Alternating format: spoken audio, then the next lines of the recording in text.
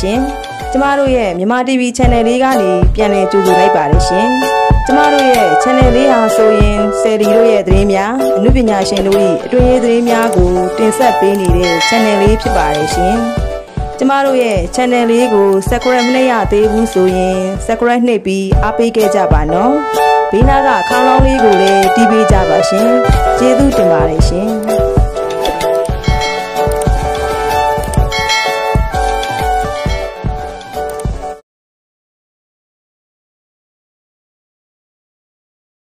အားလုံးပဲမင်္ဂလာပါခင်ဗျပရိသတ်ကြီးတို့အတွက်ကျွန်တော်ဒီနေ့တင်ဆက်ပေးသွားခြင်းတဲ့အကြောင်းအလေးကတော့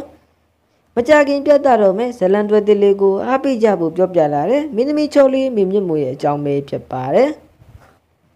ပရိသတ်ကြီးတရုတ်ဆောင်မိမြင့်မို့ကတော့အမတီဘိုဇလန်တွဲတွေကနေအကောင်းဆုံးတရုတ်ဆောင်နိုင်ခဲ့ပြီးအားပေးမှုရရှိတာကနှုပညာနယ်ပယ်မှာအောင်မြင်မှုလင်းရတစ်ခုရရှိလာတာပဲဖြစ်ပါတယ်နော်